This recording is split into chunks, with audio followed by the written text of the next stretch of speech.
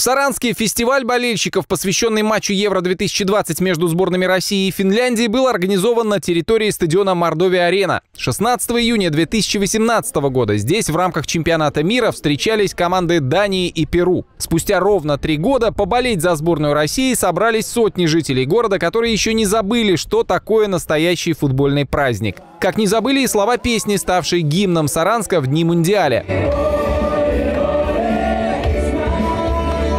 Ты сегодня весь в российских флагах, наверняка за Финляндию болеешь. Нет, я за Россию болею. Как думаешь, как сегодня сложится матч? Думаю, что 3-0 будет. Чью пользу? А в Россию. Россия. Что тебя заставляет так думать? Ну, надежда. Откуда ты? Я из Йемена. А, здесь учишься? Да, я уже отучился уже. Ну, я сюда пришел, приехал вот посмотреть за, конечно, за Россию. Я же не любитель, ну, не болельщик за Финляндию. Вот приехал за Россию болеть сегодня. А в общем, я за Португалию.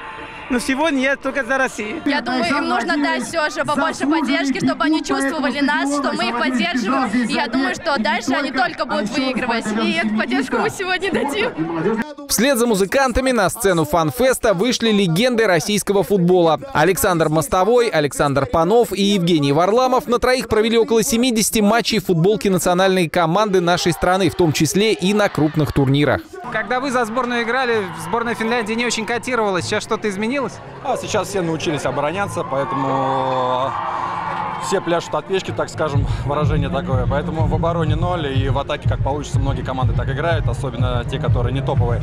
А то, что касается всего футбола, прогрессирует, динамичный сейчас футбол, более силовой.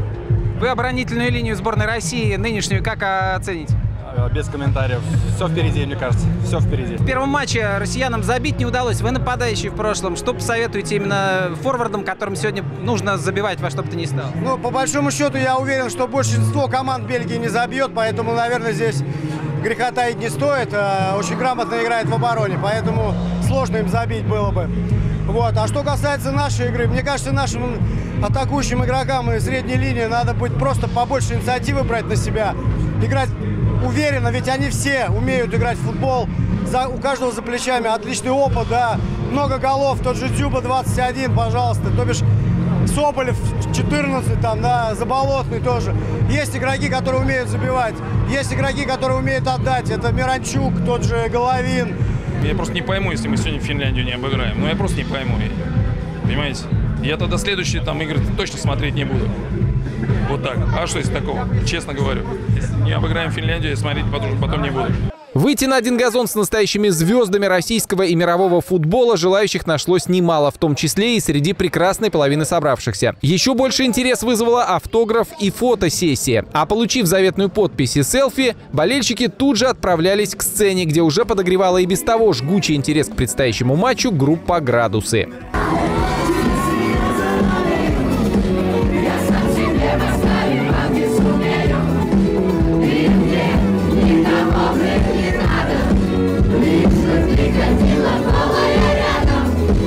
Атмосфера вообще огонь, жара и в воздухе, и на сцене, и э, в зрительном зале. Это было вообще очень круто. Саранск, просто вы какие-то бешеная энергия. Прям отлично все было. Спасибо вам. Россия вперед. По ходу прямой трансляции из Санкт-Петербурга, которая демонстрировалась на больших экранах, саранские болельщики испытали едва ли не весь спектр эмоций. От ужаса из-за пропущенного, но, к счастью, не засчитанного в наши ворота гола уже на пятой минуте, до полнейшего восторга от роскошного удара Алексея Миранчука в концовке первого тайма.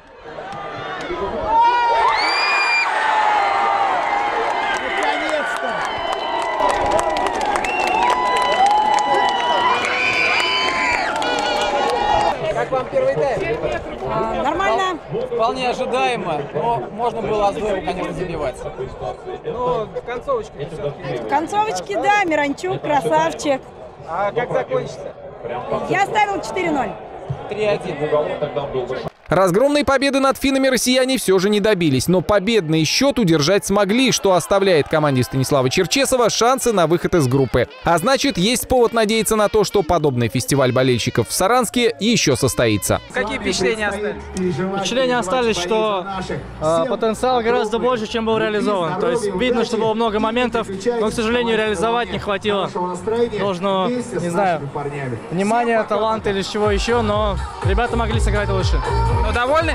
Да, конечно, довольны. Да, конечно, игра понравилась, и я очень горд, что наша команда продемонстрировала уровень и все-таки одержала свою первую победу на Евро, и я надеюсь, что в дальнейшей игре с датчанами мы выступим еще лучше даже, чем с Финляндией.